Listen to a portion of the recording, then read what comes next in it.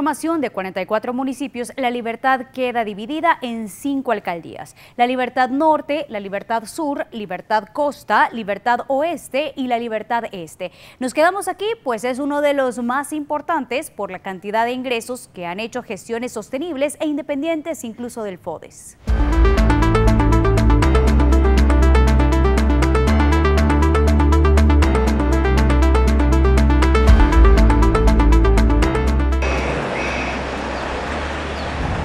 El reto será grande hasta para el político más experimentado, según los analistas.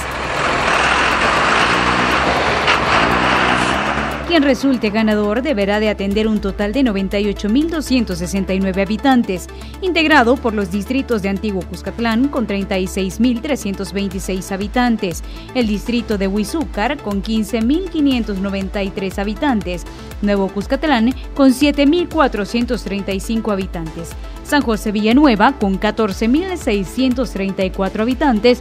Y Zaragoza con 24.281. ¿Qué se esperaría o lo que yo como economista esperaría es que se hiciera un análisis económico y socioeconómico de las diferentes zonas de este mega municipio, porque a pesar de que existen zonas con mucha, con personas con mucha riqueza o ingresos altos, pues también existen otras personas que necesitan más ayuda de la municipalidad para el desarrollo social y económico de su familia. Lo mismo ocurre con el espacio físico. Los cinco distritos suman ahora 134.58 kilómetros cuadrados, un panorama desconocido en la relación de las autoridades con las comunidades. Y en estos municipios, en la mayoría, solo se van a elegir a cuatro concejales propietarios. Esto tiene un efecto negativo en principio que genera un distanciamiento entre el representante y los representados. Eh, imagínense en Chalatenango, 20 distritos y solo 4 concejales propietarios, significa que hay 16 distritos que probablemente no tengan a un concejal que represente sus intereses, ¿verdad? Y ese distanciamiento puede provocar que queden muchos distritos también en el olvido. A la contienda se suma Michelle Sol, única en la planilla para la libertad este de su partido Nuevas Ideas, con un apoyo popular en crecimiento desde el 2012 cuando formaba parte del Consejo Municipal de Nuevo Cuscatlán bajo la dirección de Nayib Bukele, quien más tarde se convirtió en alcalde de San Salvador y dejó camino firme para que Sol se convirtiera en alcaldesa en 2015 y reelecta en 2018 cargo que ostentó hasta el 2019 cuando el presidente la nombró titular del recién creado Ministerio de Vivienda.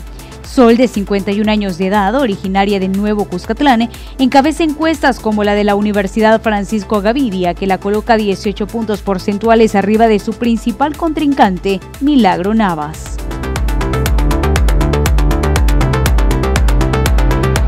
Principalmente yo garantizarle a toda la población de los cinco distritos, Antiguo Cuscatlán, Nuevo Cuscatlán, San José Villanueva, Huizúcar y Zaragoza, vamos a trabajar de la mano del gobierno del presidente Nayib Bukele. Es importante garantizarle a la población que todas esas nuevas ideas que, que Nayib Bukele ya han dado resultado, que el presidente ha implementado en un municipio pequeño y que de ahí se llevaron a un municipio grande y ahora a lo largo y ancho del país, se lleven a, municipios como San José Villanueva y que podamos eh, tener esa, ese desarrollo tan importante para, para esto, este distrito. Eh, hay programas puntuales que los vamos a implementar, que ah, de hecho actualmente en Nuevo Cujatrán se hacen y los vamos a implementar en los demás distritos. ¿Cuáles serían esos? Mira, tenemos el programa de la canasta básica, que es súper importante para los adultos mayores. Eh, son temas locales, ¿verdad? Temas de, municipio. Yo creo, creo mucho en ese programa, se da un gran apoyo a la familia, eh, inclusive a los jóvenes, porque dejan de preocuparse por la siguiente porción de alimentos y, ayudamos pues a la nutrición de los adultos mayores y eso lo queremos implementar en los cinco distritos.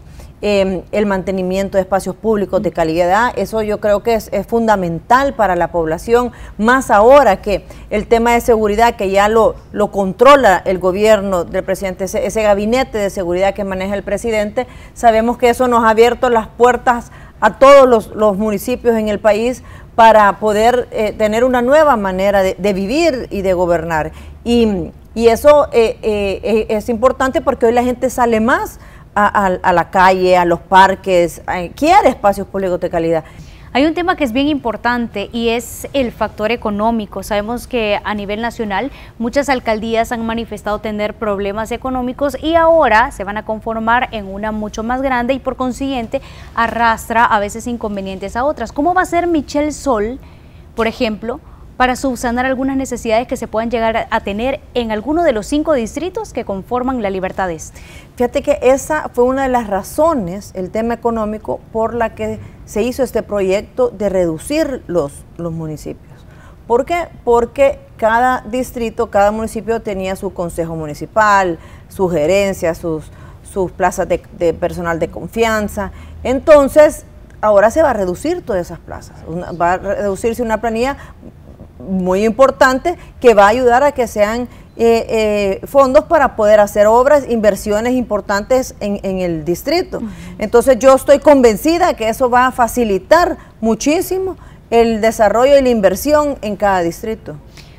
Hay preocupación por el tema de los despidos. Para algunas asociaciones hablan incluso de 40 mil. ¿Qué va a pasar en la Libertad Este? En la Libertad Este no se va a despedir a nadie solamente los puestos de confianza, ¿verdad? Y algunas gerencias porque sí tenemos denuncias de corrupción en unas alcaldías. Entonces esas personas sí se van a, despedir. Nosotros no vamos a tolerar a ninguna persona que tenga eh, algunos indicios de corrupción. Eh, definitivamente eso es algo que, que lo vamos a, hacer tajantes. Y todas las plazas de todo ornato y limpieza, los que están en el tema de la recolección de basura, el CAM, todas esas plazas ah, se quedan al 100%, inclusive cada una de cada distrito, porque nosotros no podemos mandar a recoger la basura de Antiguo Cucatlán a, a Huizúcar en lo absoluto, o a Nuevo Cucatlán, cada una mantiene sus, sus planillas. Cada una mantiene la gente que ya está trabajando en esas áreas. Y lejos de eso, las vamos a fortalecer, las vamos a apoyar para que seamos un equipo unido y que trabajemos de la mano como, como es nuestra característica, trabajar con, con, el personal. Así que esto es un, de hecho acabo de subir un, mensaje eh, eh, en, estos días en, mis redes para dar ese mensaje de tranquilidad a todos y cada uno de los colaboradores de los cinco distritos, en especial a los de Antiguo Cujatlán, que yo sé que les andan diciendo que si yo llego se van a despedir a todos. Eso no es cierto, no se va a despedir a nadie. Inclusive yo ya fui a, a una institución como el Ministerio de Vivienda eh, en las cinco en las cinco instituciones que nosotros manejamos como sistema de vivienda, yo no despedía a la gente. O sea, la gente que se quería sumar, que quería trabajar con estas nuevas ideas, la gente que, era honrada y, estaba dispuesta a, dar esa mía extra porque tenemos un presidente que nos exige trabajo, que nos exige eh, que, respondamos, que demos resultados, ahí están. Hubieron un par de gente pues que demostraron que, no quisieron cambiar y que seguían con, el pasado, entonces esas personas sí se tuvieron que, despedir, pero este es un mensaje claro que a nadie pueden ir a preguntar. Nosotros hemos trabajado con los personales de, los, las instituciones que hemos llegado y así va a ser ahora en, estos cinco distritos de Antiguo Coatlán, Nuevo Coatlán, San José de Villanueva, Huizúcar y Zaragoza. ¿Cómo se va a lograr que la libertad este sea menos dependiente del FODES, que también es otra de las perspectivas que se tiene con esta reforma? Fíjate, Graciela, que yo ya fui alcaldesa, ¿verdad? gané dos periodos como alcaldesa y yo nunca dependí del FODES porque nunca me lo daban. O sea, en, el periodo que yo fui alcaldesa, jamás me entregaban el FODES. Y cuando me lo daban, pasaban hasta seis meses que me lo daban yo lo ocupaba, el FODES lo puedes ocupar, hay un porcentaje, es para obras, un, mínimo porcentaje lo puedes ocupar en, gastos de planilla, pero yo lo dejaba y cuando me llegaba lo ocupaba en, obras que había que hacer pequeñas, lo que me alcanzara, ¿veas? invertí en eso, entonces yo siempre el FODES lo vi para eso, para invertirlo, entonces no es algo que voy pensando que, que ay, del FODES ni siquiera lo, lo llevo como de, en, mi plan de trabajo, sino que ese es algo que te, llega y lo ocupas directamente para hacer pequeñas o medianas ¿Hay algún distrito que se tenga el conocimiento que tiene problemas económicos en este momento y que le vaya a tocar a Michelle Sol lidiar con eso? Fíjate que eh, hoy por hoy no, no, no sé, no creo que no, que yo sepa, no hay, he platicado con algunos en Antiguo y en, y en San José Villanueva no tengo nada de contacto, pero no, no, no escucho, lejos de eso, Antiguo Cujatlán es de los municipios más ricos del país, per cápita es de los que más recibe, a la par creo que de la capital, eh, no debería tener ningún problema económico, lejos de eso creo que pudiera ser mucho más. Eh, no se puede quedar solamente a dar los servicios básicos, creo que Antiguo Cujatlán es un distrito, un municipio que debe de pasar a, un, a otro nivel y, lo vamos a lograr de la mano del presidente Bukele. Se va a lograr que, esto, que este municipio de la Libertad Este pase a otro nivel, incluyendo Antiguo Cuscatlán. Y hablando del tema del trabajo con el gobierno central, ¿qué proyectos se tienen pensados, por ejemplo, con la Dirección de Obras Municipales? Pues mire, con, con la DOM trabajamos súper bien, trabajamos en todo el país, hemos hecho proyectos a nivel nacional, eh, sobre todo de desarrollo urbano, obras urbanas que hay que hacer en diferentes zonas. Em, obras de talud para proteger eh, comunidades residenciales. Y ese, este fue un proyecto del presidente Nayib Bukele especial para trabajar en los distritos. Ese fue su proyecto, digamos, porque él sabe las necesidades que tienen los, los, municipios y ahora los distritos. Entonces es algo que lo vamos a trabajar. De hecho, ya tenemos proyectos em, eh, para, hacer. El, el presidente tiene buenos proyectos para la zona, él está ya pensando en temas de, ellos que nos adelante y que sean comparables con uno que ya exista, por ejemplo. Bueno, le puedo adelantar temas de salud, eh, eh, ya lo mencionó, de, invertir más en temas de, clínicas de, salud o una calle fuerte que quiere hacer que va a atravesar paralela. Quisiera que él anunciara, o sea, él, él, él ha sido propuesta de él, pero es una calle súper importante para la zona. Ahora, las últimas encuestas favorecen a Michelle Sol eh, sobre el resto de partidos políticos. ¿Qué le diría usted a ese electorado que va a confiar al darle su voto el próximo 3 de marzo? Mira, yo creo que, que esas encuestas son encuestas, sin embargo, al ir a territorio se comprueba que los números pegan, o sea, e, es real. Sin embargo, lo que yo más estoy viendo es que la gente eh, se está basando en los resultados que están viendo de nuestro trabajo. Nosotros venimos, somos un equipo unido de, parte del equipo de Nayib Bukele, pero todos trabajamos de la mano. O sea, hay una característica que él siempre nos dijo, si no trabajamos articulados no van a salir las cosas. Y es cierto, ese fue uno de los problemas de los gobiernos anteriores, que para que una institución se hiciera un proyecto, se necesitan las instituciones. Se podría decir que el buen trabajo que ha tenido el Ministerio de Vivienda que le parece a la población se va a ver reflejado entonces en las encuestas obviamente y para el próximo 3 de marzo. Por supuesto, pero es, esa mística de trabajo que tenemos, que trabajamos unidos, o sea, no, hay, no hay rivalidad, sino que, mira, necesito hacer esto, el presidente eh, firma la iniciativa, eh, pasa, pasa por el, Ministerio de Obras Públicas, la presentamos en la Asamblea, la Asamblea inmediatamente, casi que en, según agenda, como estén de, trabajo, la pasa y ya pasa al sistema de vivienda y comenzamos a trabajar. Ah, que se necesita permiso para, para pasar agua de, un, de un, a donde está anda, pero es del, terreno de Indes. Bueno, pidamos permiso, pero todo, todo surge, todo camina, todo va saliendo. ahí están los apartamentos, ya llevamos un porcentaje alto en la construcción de cuatro, de cuatro pisos, son 80 apartamentos, entonces se está haciendo el proyecto. Antes en el pasado dicen que eso era imposible y nosotros así vamos a trabajar. La oposición dice que se da esta reforma por el temor que existía de nuevas ideas en perder alcaldías. ¿Qué dice no, Michelle Soler? No, yo, yo, yo estoy convencida, ¿sabes qué sucede? De que las alcaldías pequeñas no lograban salir adelante.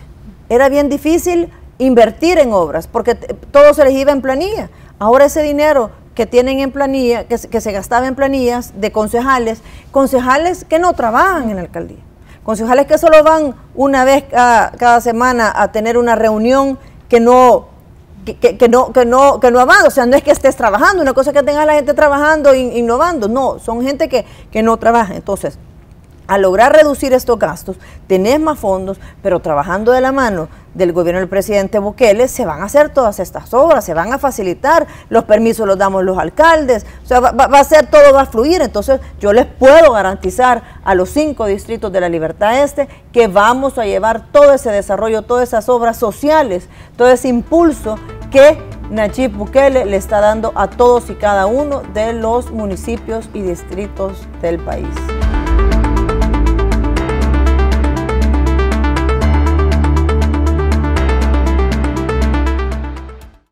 El PCN le dio su voto de confianza a Pedro Durán, un político experimentado que gobernó San José Villanueva desde el 2012 al 2018, con una pausa de tres años y retoma la gestión en 2021. Fungió como vicepresidente de la ya extinta Corporación de Municipalidades de El Salvador Comures. Además es consultor empresarial y oficial de cumplimiento en prevención de lavado de dinero.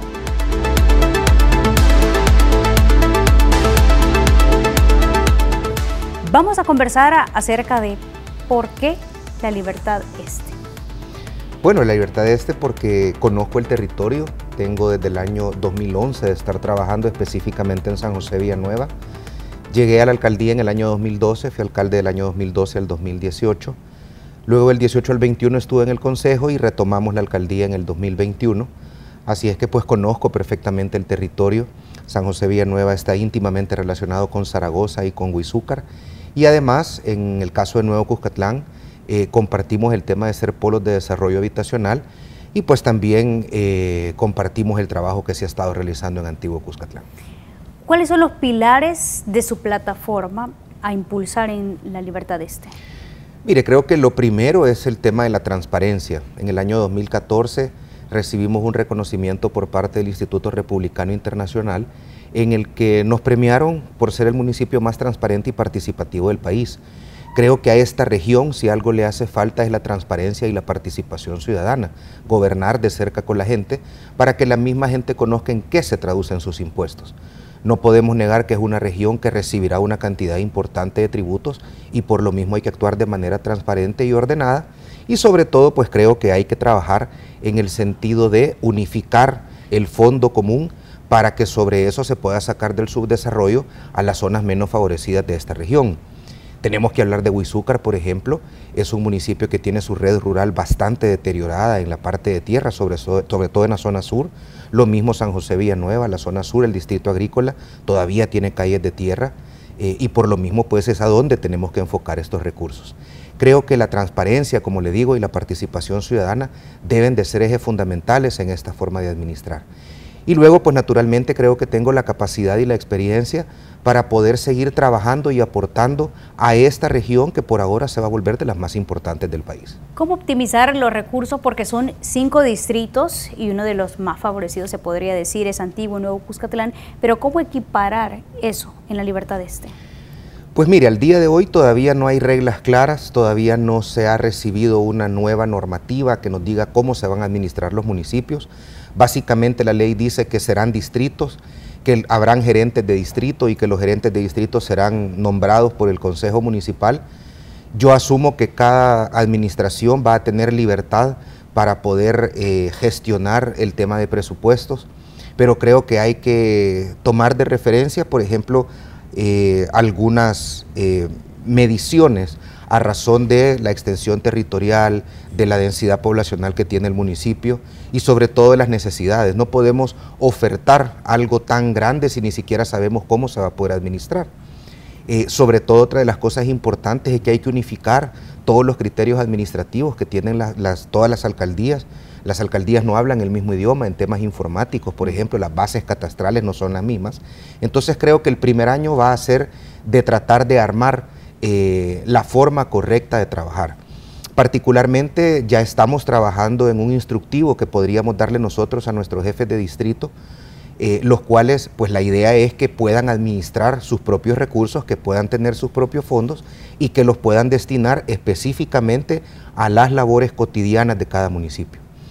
Esto, esta unión de municipios es algo bien complicado, es algo bien difícil y creo que el trasfondo que va a tener de cara a la comunidad, sobre todo a la gente rural, va a tener un impacto bien fuerte. ¿Por qué? La gente, por ejemplo, en San José Villanueva está acostumbrada, eh, yo estoy todos los lunes en la mañana en, oficina de puertas abiertas y llega cualquier persona a reunirse conmigo y llega gente con necesidades tan básicas, con cosas pequeñas que para ellos son grandes. A ¿Podría cuidarse, por ejemplo, algunas zonas más pequeñas que otras que ya están mucho más avanzadas? Por lo menos es lo que dicen analistas. Mire, creo que lo que importa ahí es el gerente de distrito. Porque si yo de gerente de distrito pongo a un amigo solo porque quiero ayudar a un amigo, no es lo mismo que si pongo a alguien que de verdad ha trabajado en el territorio. Si alguien, eh, me voy a poner en mi caso, si yo... Eh, gano la elección, pues naturalmente tengo que administrar el territorio que ya conozco, pero para el caso eh, hay gente en Huizúcar que ha trabajado el territorio, incluso exalcaldes, que conocen a su gente y que por lo mismo pueden ser muy buenos gerentes de distrito. Lo mismo ocurre en Zaragoza, eh, porque para esto necesitamos saber qué necesidades son las que la gente realmente tiene. Cada distrito es una realidad diferente. A mí, por ejemplo, me llega gente eh, a pedirme un ataúd porque ha fallecido un ser querido, a pedirnos lámina, a pedirnos plástico, a pedirnos que les ayudemos con una calle, en fin, una cantidad innumerable de necesidades que la gente se tome el tiempo de pagar un transporte para llegar a mi oficina, pero ahora tendrán que llegar a la oficina del nuevo municipio, donde su costo va a ser mayor, donde el tiempo va a ser mayor, imagínese administrar cinco distritos, pues probablemente va, a haber que moverse dentro de los cinco distritos y va a ser más difícil que la gente pueda llegar directamente al alcalde. Ahora bien, el tema de cómo administrar, usted decía, hay GPT distrito, pero también hay un estudio eh, que, que, daba a conocer el analista Ramón Villalta.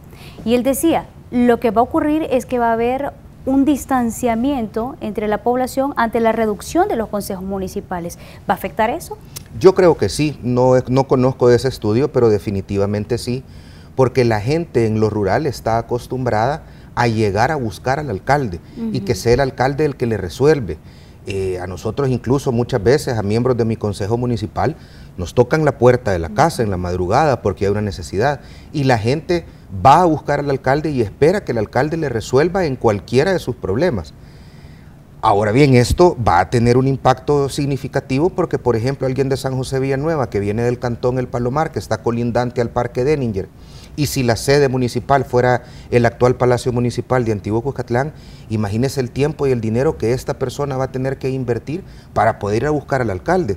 Y ojalá que el alcalde esté el día que llegue, porque probablemente al menos ahorita, por, por, de acuerdo a lo que dice el Código de Familia, por ejemplo, los alcaldes podemos celebrar matrimonios.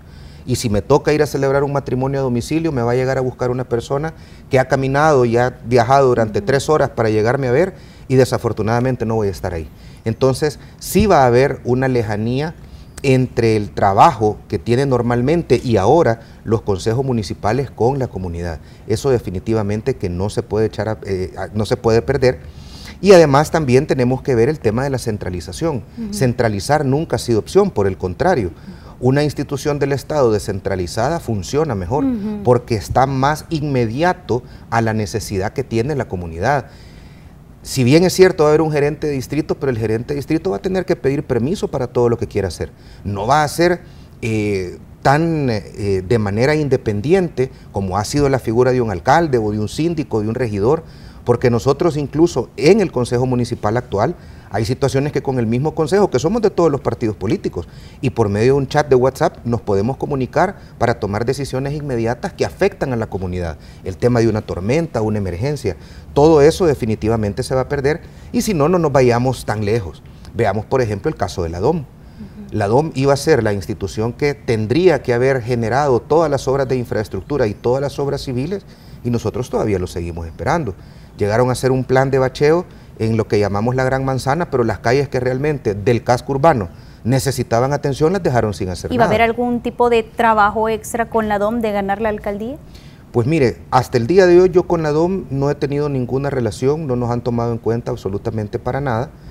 Eh, entiendo que ellos harán lo suyo, y pues yo así como he estado trabajando, de hecho todavía este día estamos ejecutando proyectos en beneficio de la comunidad y lo seguiremos haciendo. Cuando los recursos se invierten efectivamente conociendo las necesidades, hay cosas que se pueden hacer.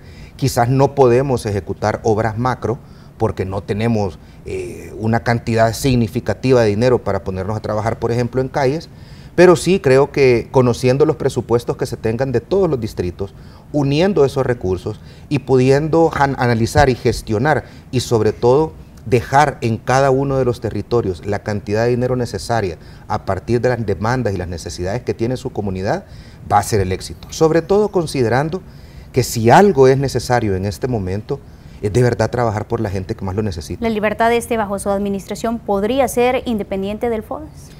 Yo creo que sí. De hecho, al día de hoy, San José Villanueva se maneja de manera autosuficiente, no tenemos deudas, todas nuestras eh, obligaciones patronales están al día. Tenemos las deudas pues que se van pagando a final del mes, el tema de desechos sólidos, combustible, pero no tenemos deudas. Eh, nuestros empleados han recibido incluso prestaciones laborales adicionales a las de la ley. Eh, y esto pues naturalmente, si lo hemos podido hacer en un municipio pequeño, que antes era algo que nadie conocía, a la orilla de la carretera al puerto de la libertad, y ahora estamos ahí, indiscutiblemente que con transparencia y con experiencia podemos hacer las cosas bien. Hay eh, encuestas como la de la Universidad Francisco Gavidia, que ya está dando resultados preliminares, y me gustaría que usted le enviara un mensaje a la población tomando en cuenta todo eso y que todavía pueden pedir el voto. Bueno, mire, yo creo que aquí para todos aquellos que viven en la Libertad Este, Antiguo Cuscatlán, Nuevo Cuscatlán, San José Villanueva, Huizúcar y Zaragoza, tenemos que hacer las cosas bien. Ustedes nos conocen, nos han conocido durante casi 12 años de trabajo municipal y saben cómo trabajamos, saben las cosas que hemos hecho y sobre todo que nuestra principal premisa ha sido sin duda la transparencia y la participación ciudadana. Como alcalde para la Libertad Este, de eso se trata de servir y sobre todo de administrar los recursos del Estado de manera eficiente. Por lo mismo les pido su apoyo en la bandera del PCN para que juntos podamos administrar este territorio que por ahora se convertirá en el polo de desarrollo habitacional más importante del Salvador.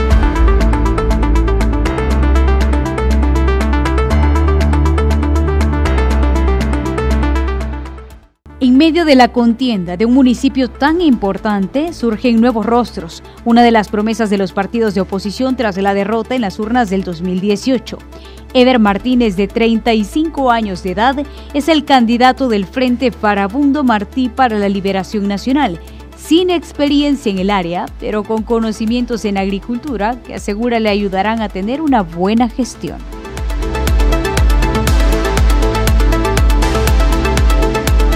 ¿Qué hace en una contienda donde vemos rostros experimentados, Michel Sol, Milagro Navas? ¿Qué ofrece la plataforma del FMLN y por qué entrar a esta contienda tan difícil?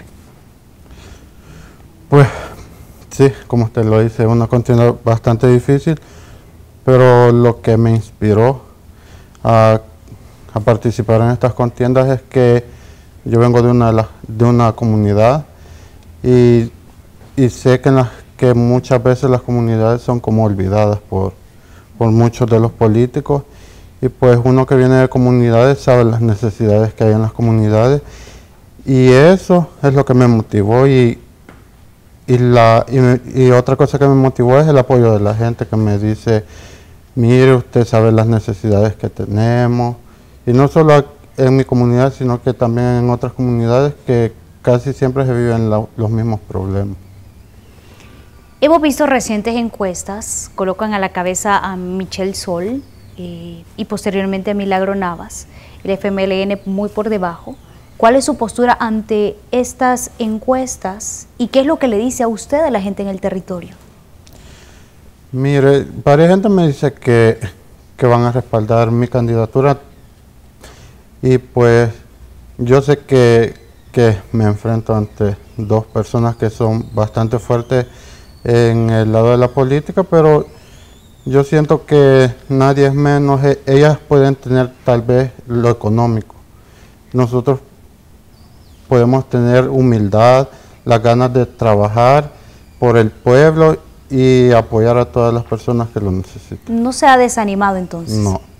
Eso me ha dado, hoy que he andado en los territorios, me ha dado más energías como para seguir luchando y dar la batalla hasta el final. Sea lo que sea, al final Dios es quien tiene la última palabra. Ahora bien, hablemos entonces de las propuestas que usted lleva ya de cara a esas elecciones. Ya queda muy poco tiempo. Pues una de mis propuestas sería el apoyo a los agricultores, porque dentro de nuestras comunidades, dentro de los cinco distritos, hay bastantes agricultores. Tenemos gente que cultiva maíz, eh, hortalizas. Y pues para mí es importante esto porque yo siento que han sido como olvidadas. Yo vengo de una cooperativa productora de café y siento que, que no tenemos las ayudas que necesitamos como agricultores.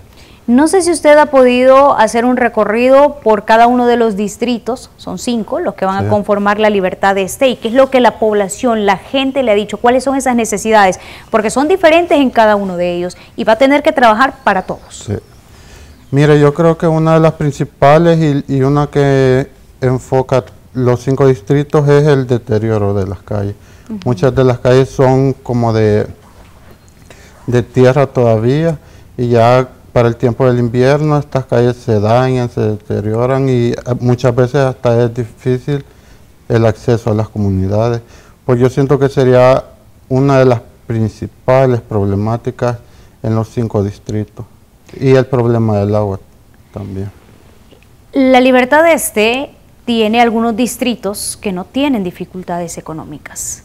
¿Cómo va a ser usted para llevar todo el desarrollo? Y se me viene a la mente, por ejemplo, eh, cómo ha evolucionado el centro de San Salvador hacia los distritos que no lo han tenido. Veamos, Huizúcar, por ejemplo.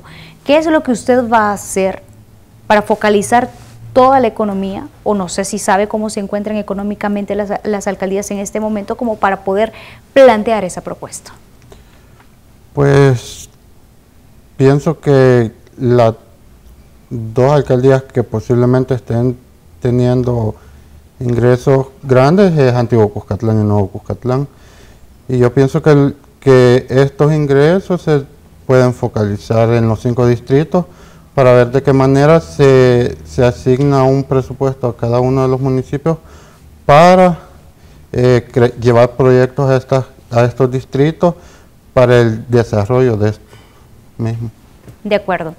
¿El FODES cómo va a ser utilizado en el caso que usted llegue a la alcaldía? Pues mire, yo pienso que, que cuando uno maneja bien los recursos, pues esto puede alcanzar porque actualmente soy tesorero de la cooperativa donde trabajo y pues yo, no son muchos los ingresos, pero si uno los sabe distribuir, creo que alcanzan para todas las necesidades. Uno de los temores que habían cuando se hizo esta reforma de pasar de los 262 a 44 municipios en el país es el tema de despidos. ¿Qué va a pasar si usted llega a la alcaldía de la Libertad Este? Pues yo creo que, que no sería necesario despedir a las personas. Aparte, crear otras áreas y hoy que son cinco distritos para un solo, se podría distribuir y podrían salir nuevas plazas para emplear nuevas personas. Ahora bien, en términos generales, ¿cómo evalúa su candidatura? Y reitero lo que le han dicho en territorio. Pues yo creo que, como le decía, vamos a dar la batalla hasta el final. Eh, al final el trabajo de cada uno de nosotros es el que va a hablar por sí mismo. Podemos decir entonces agricultura y calles en mal estado son las principales plataformas que usted lleva. Y también casas para el desarrollo de la niñez y la juventud. Para, en estas casas vamos a poder descubrir, porque sabemos que dentro de nuestros cinco distritos hay muchos jóvenes talentosos. En estos espacios es donde podemos ver, ellos mismos van a tomar decisiones y pues creo que sería algo de bastante beneficio para las juventudes y la niñez. ¿Está dispuesto a trabajar de la mano con el gobierno del presidente Nayib Bukele? Pues sí, sí, porque si es para el bienestar de la población, pues se tiene que hacer lo mejor y lo que esté. Normalmente cuando alguien sale de una alcaldía, deja algunos proyectos ya previamente establecidos y se da que cuando llega una administración culmina con ellos y es por eso que no son consecutivos en el tiempo. ¿Va a pasar eso durante su administración? Sí, sí, porque digamos si la actual alcaldesa ya tiene proyectos que están ejecutando, nosotros les vamos a dar seguimiento para culminarlos y que vean las personas que llevamos el mismo en común, que es el trabajar por la gente y el beneficio de todos. Finalmente, ¿algo que le quiera decir a la población? Pues un saludo a todos los, los, ciudadanos de Huizúcar, Nuevo Cuscatlán, Zaragoza, San José Villanueva, Antiguo Cuscatlán y pues les digo que en mi corazón está la disposición de poder trabajar por todos ustedes y dar lo mejor de mí para que todos los distritos tengan un desarrollo equitativo.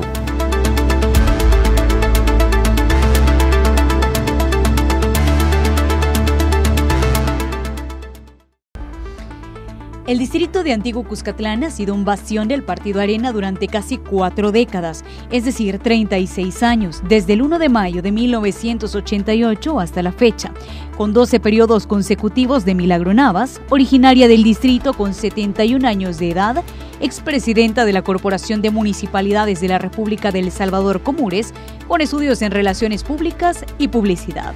Eh, como alcaldesa desde el 2000, de 1988, yo entré con Duarte, o sea que a mí no me preocupa trabajar con el presidente de la República, porque también trabajé con eh, cuando entraron el FMLN, con los dos expresidente.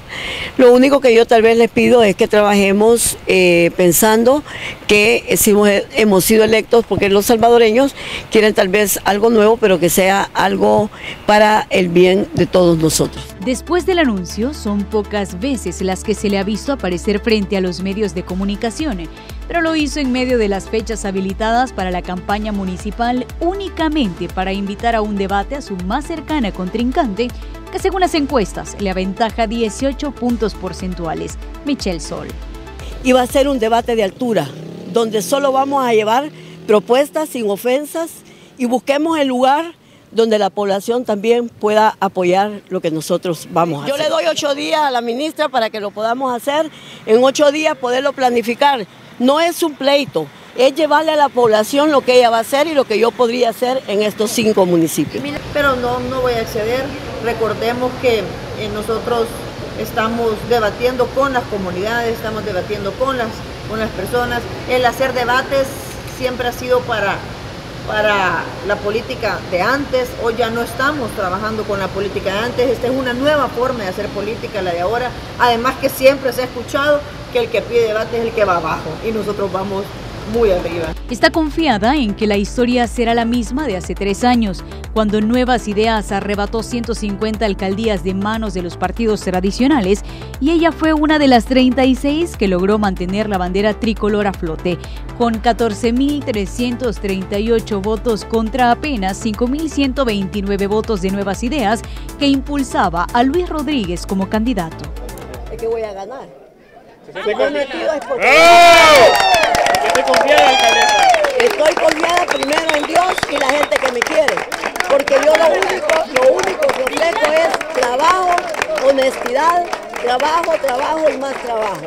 Y lo más importante es que no solamente me quieren en Activo Cuscatlán, sino que los otros cuatro municipios que van a ser míos el domingo 3 de marzo. Pero parece que ha preferido tomar distancia de su partido, Arena Ningún color que lo identifique está plasmado en las vallas publicitarias a lo largo de los cinco distritos que conforman el municipio, ni en redes sociales. Rosado es el color de su campaña. Porque el voto duro de Arena es uno y se ha disminuido y se ha desbaratado. Pero el voto duro de la alcaldesa, que es del mismo partido, eh, se manifiesta de otra manera en ese territorio para la alcaldesa, no necesariamente para la elección presidencial, que habrán votado muy probablemente de otra manera. No veo posibilidades, insisto, de que el, éxito económico eh, de Milagro Navas se repita y se traslade a esas otras áreas mucho más grandes donde las necesidades son mucho mayores porque son poblaciones mixtas entre urbanos rurales se le ha visto muy activa en Twitter o X, donde asegura no necesita campaña para colgarse el éxito en las urnas y ha criticado cómo la imagen del presidente continúa teniendo incidencia en el sufragio por alcaldes y diputados. La mayoría aplaude que durante los años de mayor criminalidad en el país, cuando El Salvador superaba los 10 homicidios diarios, Antiguo Cuscatlán reportaba únicamente delincuencia común que se fue disipando con la instalación de cámaras de videoseguridad implementado desde hace 11 años y esperan que este sistema llegue al resto del municipio. Antiguo Cuscatlán ha sido un municipio seguro. Gracias al exitoso modelo de prevención y reacción que ejecuta nuestra Policía de Prevención Ciudadana el cual implementaré en cada uno de los distritos de la Libertad Este. Ampliaremos además nuestro moderno sistema de videovigilancia Smart City e instalaremos botones de pánico para atender tus denuncias. Haremos de la Libertad Este un municipio 100% iluminado con tecnología LED en zonas rurales y urbanas. Además de planes como agua para antiguo, la renovación constante de la clínica comunal, planes de bacheo y potencialización del mercado. Y estas condiciones que damos a la inversión de la empresa privada, que nos gustaría extenderlo a los otros distritos para acercar a Huizúcar, San José Villanueva, Zaragoza y Nuevo Cucatlán el desarrollo y las oportunidades a los habitantes. Nosotros estamos agradecidos y como municipio como empresa, ustedes nos hacen grandes. Sus impuestos nos ayudan a invertir. Por eso, Antiguo Cucatlán, con mucho orgullo, es el mejor municipio del país. También cuestionada por el costoso Palacio Municipal ubicado en la entrada del municipio, en el Boulevard Walter Tilo Denninger, con 6.000 metros cuadrados de construcción, y la decoración del Boulevard Santa Elena. Navas fue salpicada en 2023 con la malversación de 1.1 millones de dólares, fondos que eran canalizados a través de la ya extinta Corporación de Municipalidades de la República del Salvador, Comures, de los cuales se desmarcó. Que todos los directores de Comures no tenemos nada que ver en la administración. Nosotros éramos directores como cualquier... Y él nos, en ese caso, yo voy a decir nombre y apellido, el ingeniero Pinto era el director ejecutivo, que era el que manejaba todo. Yo nunca tuve ni firma, nunca eh, firmé cheques, nunca entré en la finanza porque no era mi trabajo, sino que nosotros nos aglutinábamos para trabajar con la información que llevaba. En todo caso, quien tiene que entregar papeles, porque nosotros no manejamos papeles, es el director ejecutivo. Estas son entonces las propuestas de los candidatos de la Libertad S. Usted deberá de elegir quién gobernará por los próximos tres años e iniciará con la transición a este nuevo sistema de 44 alcaldías. El próximo fin de semana, San Salvador Centro.